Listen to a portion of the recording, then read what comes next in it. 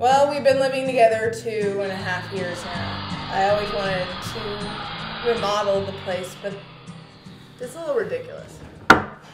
He leaves the house a total mess. Like, I, I turn my back for one second and he started some new project that he never finishes. Damn it. He's. The guy can't sit still. He's always starting some new project, some some painting something. It's just like it's just like I'm here. I'm a person. You think he would learn to get it in the toilet. you know what? He needs to grow up. He's always fixing something, like banging tools, saws all day long. We used to have peaceful afternoons. I was able to lay down, take a break, take a time watch a movie. I can't hear anything. He leaves his stuff everywhere. Everywhere. Tools. I, tr- I stubbed my toe the other day tripping over a power tool.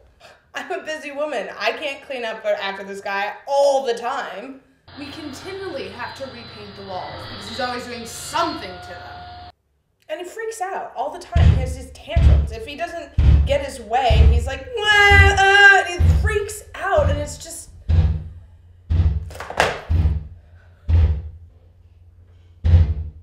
He leaves me huge messes to clean up.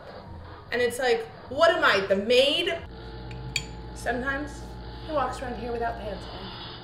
It's like, can't even pay me respect to put on pants. Sometimes he doesn't wear anything at all. But does he want? Does he want to hang out with me? Does he want to come over and give me a hug? No.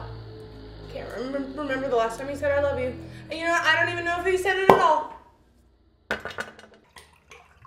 This time last year, He's all about my boobs. Now? Oh, I don't care. Ah. And runs away. Just runs away off to his next project.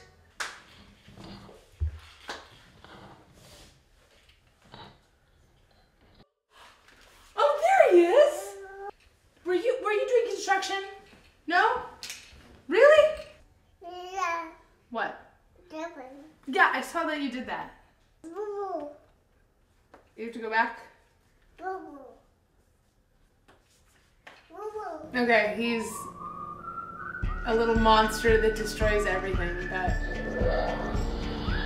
wouldn't be home without him.